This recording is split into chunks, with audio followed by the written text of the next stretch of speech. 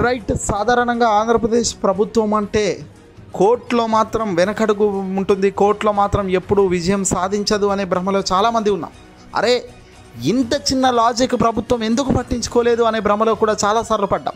అయితే నలభై ఏళ్ళ అనుభవం కలిగిన చంద్రబాబు గారు మాత్రం న్యాయస్థానంలో చాలా సందర్భాల్లో విజయం సాధించారు ప్రభుత్వం వైపు నిలబడి ప్రభుత్వం ఓవైపు చంద్రబాబు ఓవైపు ఉన్న చాలా సందర్భాల్లో మాత్రం కోర్టు జగన్మోహన్ రెడ్డి గారికి కాస్త వ్యతిరేకత తీర్పులు ఇవ్వడం కోర్టు కాస్త మొట్టికాయలు వేసిన సంగతి మనం అనేక సందర్భాల్లో చూసినాం.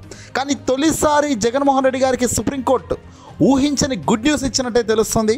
తెలుగుదేశం పార్టీ ప్రభుత్వం రెండు వేల పదిహేనులో జారీ చేసిన జీవోలోని క్లాజును కొట్టేస్తూ ఆంధ్రప్రదేశ్ హైకోర్టు ఇచ్చిన తీర్పుపై స్టే ఇచ్చేందుకు సుప్రీంకోర్టు నిరాకరించింది.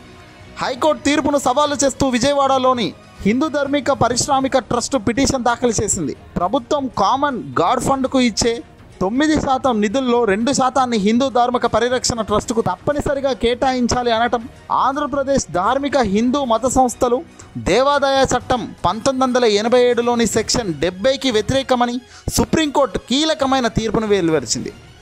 ఆంధ్రప్రదేశ్ హైకోర్టు జారీ చేసిన ఆదేశాలపై స్టే ఇవ్వాలి అంటూ హిందూ ధార్మిక పరిరక్షణ ట్రస్ట్ దాఖలు చేసిన పిటిషన్ను అనుమతించని జస్టిస్ స్టే ఇవ్వడానికి ఇటీవల పూర్తిగా నిరాకరించింది.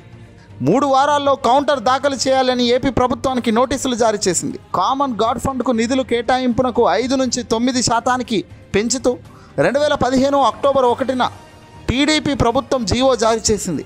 జీవోలోని క్లాస్ ఏడు స్లాష్ రెండు బి కింద సెక్షన్ డెబ్బై ప్రకారం జీవోలోని క్లాజ్ ఏడు రెండు బి ప్రకారం హిందూ ధార్మిక కార్యక్రమాల నిమిత్తం తొమ్మిది శాతం నిధుల నుంచి రెండు శాతానికి తప్పనిసరిగా కేటాయించాలని పేర్కొంది. ఈ మొత్తాన్ని మూడు నెలలకోసారి ప్రత్యేక ఖాతాలో సదర్ ట్రస్ట్ దగ్గర ఉంచాలని తెలిపింది. పంతొమ్మిది వందల ఎనభై ఏడు చట్టం సెక్షన్ డెబ్బై ప్రకారం ఈ జీవో చట్టవిరుద్ధమని విశాఖపట్నానికి చెందిన నరేష్ కుమార్ ఆంధ్రప్రదేశ్ హైకోర్టును ఆశ్రయించారు.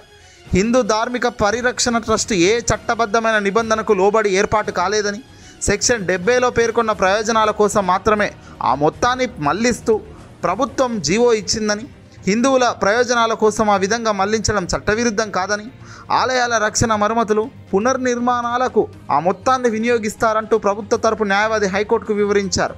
వాదనల అనంతరం నాటి తాత్కాలిక ప్రధాన న్యాయమూర్తి ప్రవీణ్ కుమార్ సత్యనారాయణ మూర్తులతో కూడిన ధర్మాసనం సదర ట్రస్ట్ చట్టబద్ధమైన సంస్థ కాదని గుర్తించింది. గాడ్ ఫండ్ నైన్ శాతం నుండి నిధుల్లో రెండు శాతానికి తప్పనిసరిగా ఆ ట్రస్టుకు కేటాయించాలి అని చట్టవిరుద్ధమని పేర్కొంది. జీవోలోని క్లాస్ రెండు బి కింద కొట్టిపారేసింది. ఈ ఆదేశాలను సవాల్ చేస్తూ ధర్మాన పరిరక్షణ ట్రస్ట్ సుప్రీంకోర్టును ఆశ్రయించింది. ఏపీ హైకోర్టు తీర్పుపై నేడు సుప్రీంకోర్టు స్టే విధించిన సంగతి మనకు తెలుస్తుంది. కౌంటర్ దాఖలు చేయాలని కూడా ప్రభుత్వానికి నోటీసులు జారీ చేసింది తెలుసు.